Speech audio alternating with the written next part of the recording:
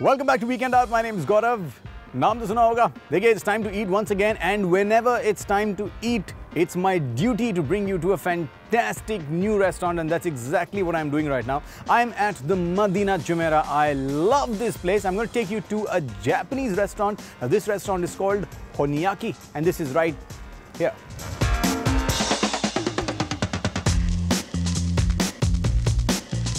Honyaki knives have the following qualities. They are forged from a single piece of steel, they are really very sharp, they are perfect for slicing sashimi, and great for naming Japanese restaurants, at least in this case. Honyaki, a Japanese restaurant in Madinat Jumeirah, perched just above the Madinat Amphitheatre and has a great view of the magnificent Burj Al Arab billowing up from beyond the traditionally styled buildings of the Madinat complex. But the biggest question is Does this restaurant really stand for its name? Does the food have that much power to blow off my taste buds? Is its food presentation as appealing as the Honyaki knife? It was for me to find out.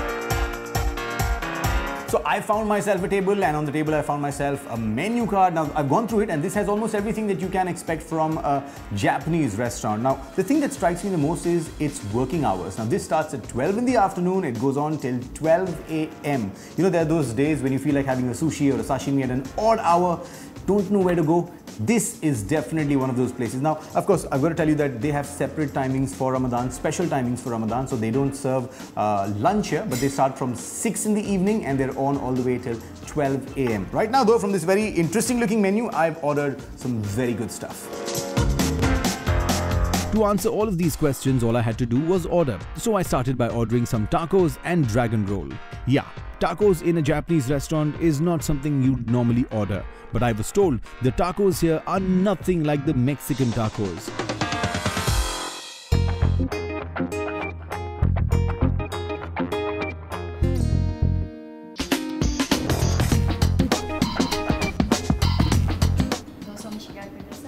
Arigato.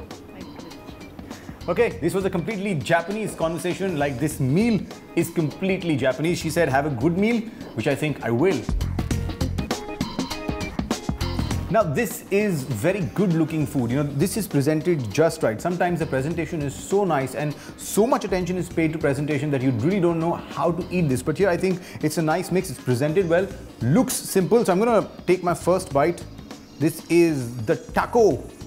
And look at this, it's got uh, very appetizing stuff in it. There's got, they have crab in it, they've got some avocado, they've got some roe of fish, and they've got a very nice little dropper here. I'm gonna drop one drop of soy sauce.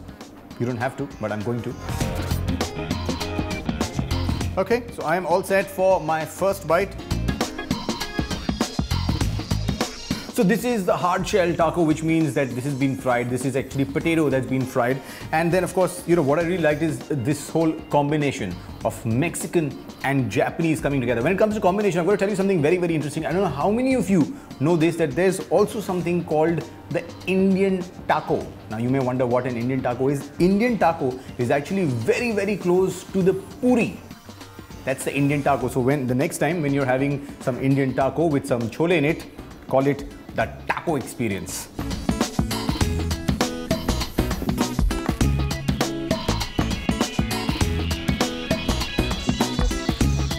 Okay, now before I dig into this dragon roll, I'm going to tell you a couple of things that you might want to know. Some of you may know this, some of you may find this very uh, helpful. So here it is. The right way of eating any sort of sushi roll is actually by hand. Yeah, even if you're in a fine dining setup, the right way to do it is pick it up by hand, dip it in your soy sauce and have it. Now dipping it, how do you dip it?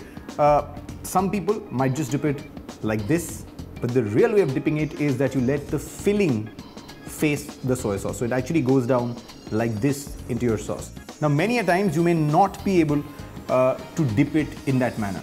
A simple way of doing it is then you use the ginger and your chopsticks. So you pick out a small flake of ginger and you dip it in the soy sauce and then you just brush your sushi gently and then your sushi is ready to eat like I am ready to eat. So now this is ready to eat.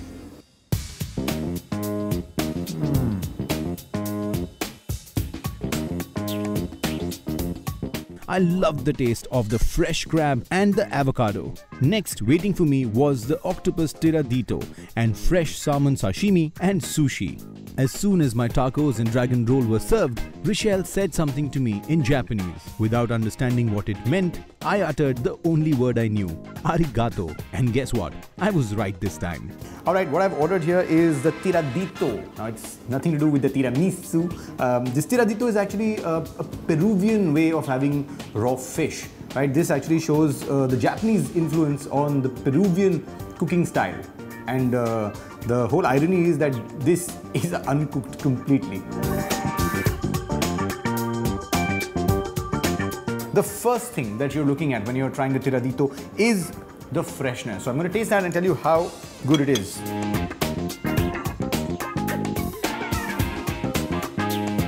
This has got to be one of the best tiraditos I've had. I love this. All right, so this has been a fantastic meal. You know, I've got to give points to the sushi, the sashimi, the tiradito, the burj al arab on my right. You've got to give some points uh, for the view as well, right?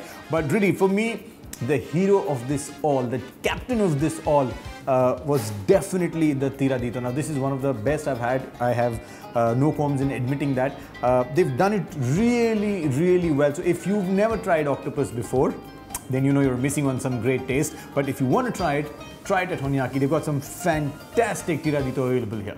After this flavorsome meal, it was time for me to end my journey at Honyaki. But how can I end without dessert? So I ordered the mochi ice cream and I tried the green tea flavor. And this didn't disappoint either. So all in all, Honyaki did the job. A place where you can truly experience the taste of Japan in a casual atmosphere and a spectacular view.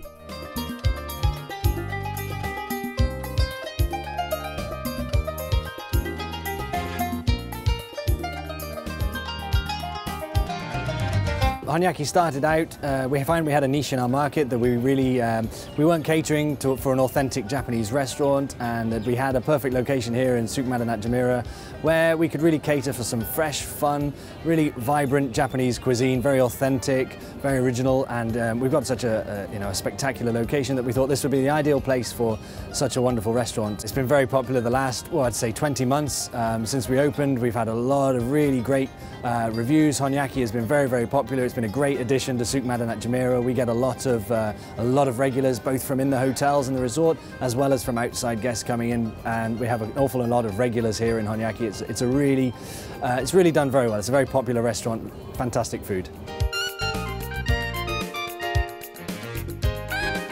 The first Japanese word that you heard from me was arigato. Now I'm going to show you the second word I know and that is ata ami zato. Okay, that's not exactly Japanese, but for those of you who understand Marathi, that means it's time for me to leave right now. I'm going to see you next week. Till then, no sawal, no doubt, sabka solution. Weekend out.